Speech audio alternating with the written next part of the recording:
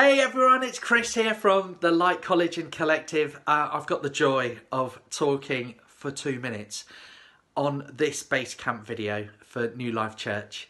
And I'm going to talk about one of your incredible themes that you've got, and that is go. Surprise, surprise. I want to talk about going, and it might seem a little bit odd talking about going in a time of lockdown.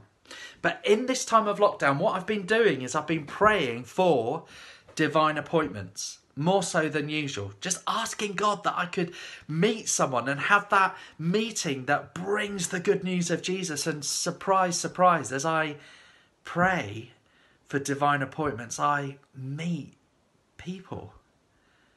Uh, as I just go to the post office, I get to meet people. As I walk down the street on my exercise time, I get to meet people, people that I've been praying for a guy came to look at a house uh, two days ago, and my daughter said I sat in the garden for four hours talking to him. It, it wasn't four hours; it was a long time.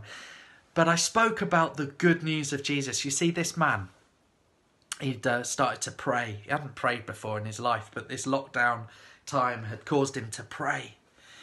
And he said, I've been praying something a little bit strange before going to bed. I've been praying that somehow I could draw closer to God.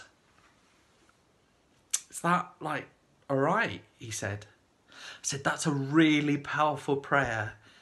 And I want to tell you, if, if you're happy for me to tell you, how I have drawn close to God. And I spoke about the gift of Jesus for me, his life for me, that Jesus has brought me to God. So, would you pray for divine appointments?